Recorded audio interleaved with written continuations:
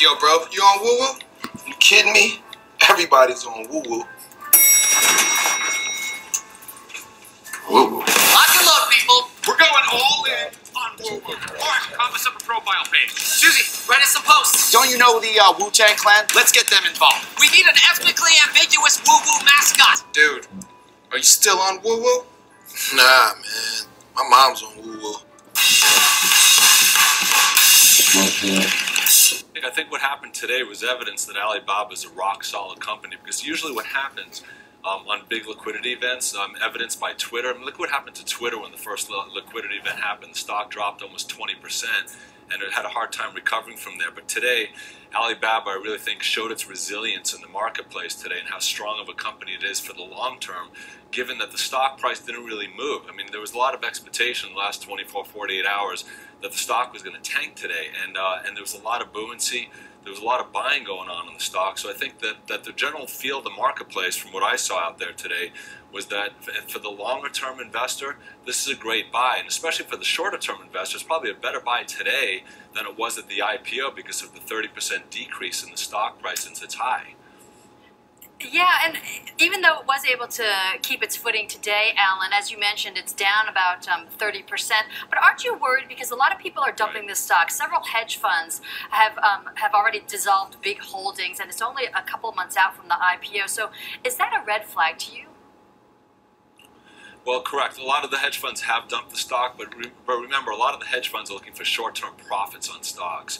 Um, so if somebody's buying into Alibaba today, they should ask themselves, are you an investor or are you a gambler? Because if you're a gambler, it's not the right stock to be in because a gambler's mentality is usually going to be, I want to get into something quick, I want to make uh, short-term gains on the stock within the next six months to 12 months. I don't think anybody that's looking for a short-term pop on the stock, this is the right place to be.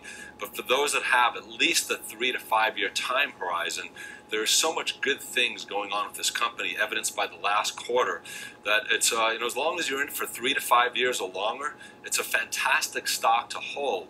Don't listen to the short-term noise. There's a lot of there's a lot of chatter about Alibaba. There's a lot of things that are beat, trying to beat it down. But I really believe time and time again, as as uh, as as time continues, we're going to see some really good gains on this stock. And look, all the all the all the banks that came out today and lowered their their estimates. I think one bank, it might have been Goldman or Deutsche, lowered it from 133 down to about 127. I mean, look where the stock is today.